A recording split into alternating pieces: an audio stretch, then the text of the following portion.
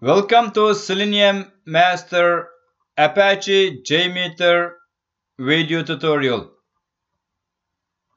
In this video tutorial, I will teach you how to create log files using BeanShell post processor in JMeter performance testing.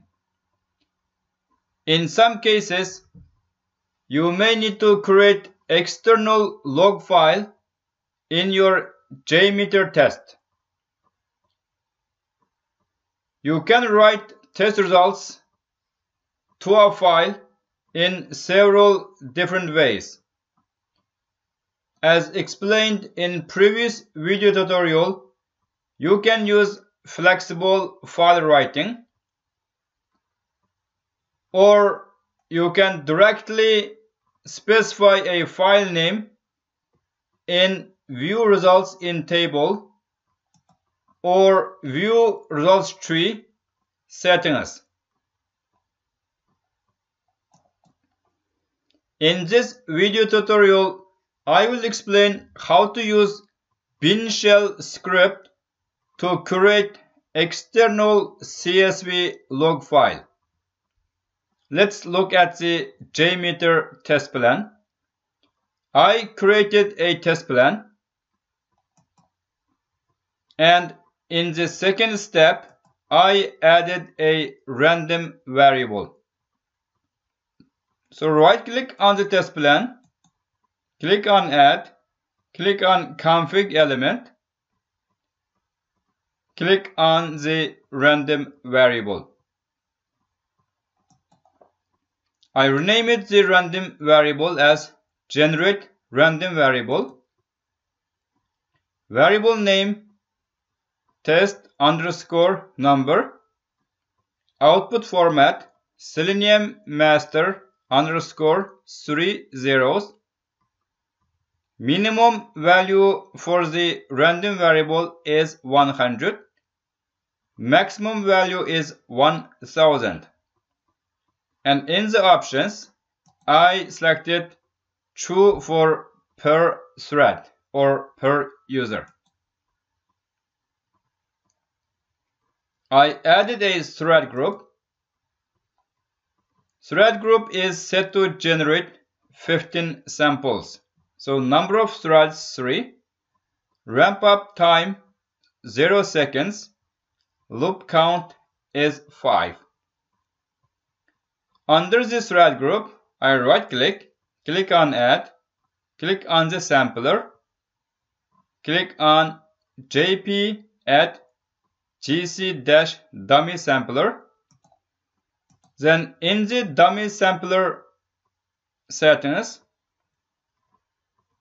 for the response code, I set dollar sign bracket random 198 200 then response time is 1 to 10 seconds.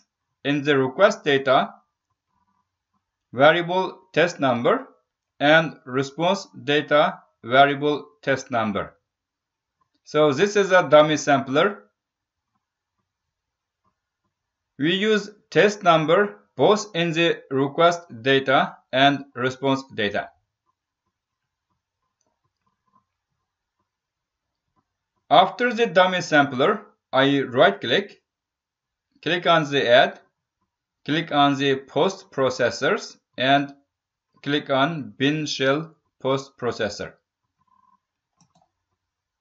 So on the BeanShell post processor, I can rename the name. Let's say create custom log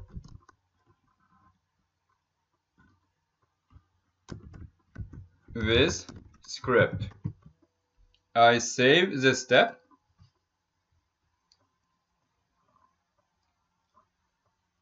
In this script area, I wrote the following scripts. The string response equals vars.get test number because test number was the variable so we get the test number variable and assign the value as the response. So log dot info response. We log the response. I defined another string variable named email equals services at seleniummaster.com and on this line I define string node equals this is a test thread plus jmeter context dot get thread number. So this is how you can use jmeter context CTX. For more information on the available JMeter context messages, you can visit the website jmeter.apache.org slash API slash org slash Apache slash jmeter threads jmeter. You can use all the available messages depending on your need. In this example, I just get thread number. This will return the thread number. Use this method. Now I defined a file writer. File writer fs stream equals new file writer under C Apache JMeter under test log, create custom log and true. True means each stream will be appended to the previous stream. So we need to use true in order to log all test streams. I defined a buffered writer out equals new buffer writer file stream. Then in the response out dot write response plus code comma plus email plus note because we are going to write a CSV file comma separated file so in between the variables I put comma after each thread add a line separator so this will create a new line out.write system.get property line separator. Now we close the buffered writer and close the file writer. Now I save it. Then after that, I added response assertion. So right click on the sampler, click on the add assertion. So this will be response assertion. On the response assertion, the response code should equals to 200. Now I have added view results tree, view results in table as listeners. So right click on the dummy sampler, click on the add button, click on the listener. So I picked view results in table, view results tree. So in this example, I defined three thread groups and five loop count. So we should have overall 15 samples. Now the tree is empty and the result table is empty. Now let me run the script and observe the log file. So click on the dummy sampler Click on the Start button. So the dummy sampler test is done. Now let's look at the result. On the result tree, we have several tests passed and several tests failed. In the table, we have total samples 15 average 6 milliseconds we have some failed tests and some past test cases So now let's look at the custom log file. So this is the folder in the script.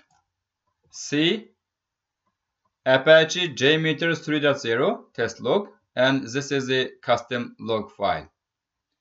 I right click on the log file, click on edit with notepad++. Now let's look at the log file structure. So first file is response because we use random variable for each thread. So after Selenium master, the numbers are different. And second one is the email because email is static. So we have email for all threads. And now we have thread group. So we had three thread groups. So this is a test thread 0, test thread 1, test thread 0, test thread 1. We have test thread 2. So by using the shell script, we are able to write an external CSV log file.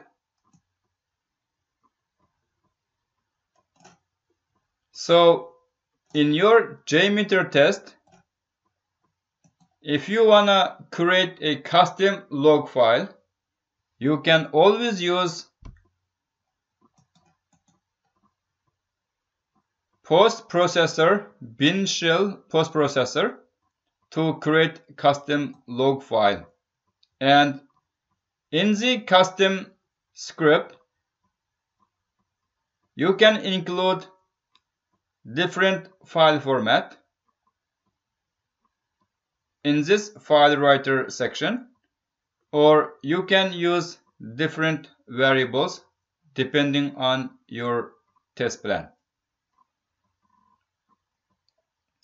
If you have any questions regarding this video tutorial, you can send email to services at seleniummaster.com.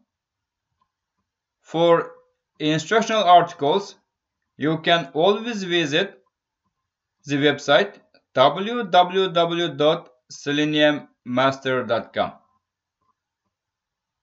Thanks for watching.